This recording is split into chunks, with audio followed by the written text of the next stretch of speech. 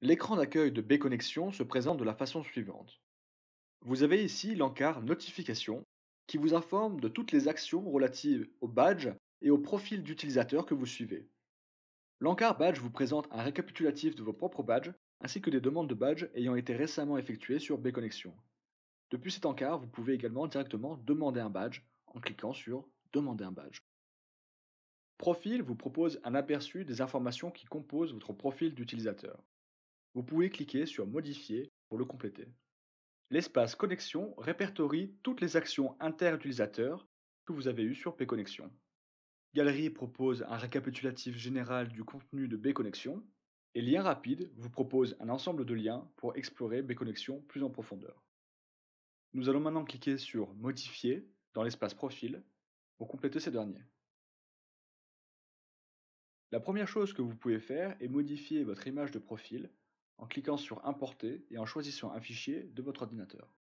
Vous avez ensuite la possibilité d'ajouter une petite biographie dans l'espace à propos de moi et d'ajouter des informations complémentaires telles que un lien vers votre blog, votre compte Twitter ou Instagram en cliquant sur Ajouter un champ.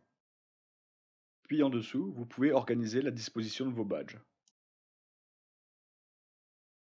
Notamment en ajoutant des vitrines de badges dans lesquelles vous pouvez agencer plusieurs badges et définir leur ordre d'apparition en cliquant sur ce petit icône en forme de croix. Cliquez ensuite sur Suivant pour définir le thème de votre profil. Puis sur Paramètres pour définir la visibilité du profil. Vous pouvez ensuite cliquer sur Aperçu pour vérifier que tout va bien et si vous le souhaitez, ajoutez une nouvelle page en cliquant sur le petit plus à côté de Mon profil.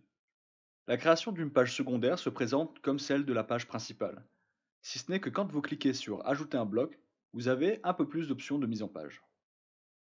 Vous avez notamment la possibilité d'afficher un badge en particulier avec ou sans sa description complète en cliquant sur Court ou Fort dans le menu déroulant qui vous est proposé.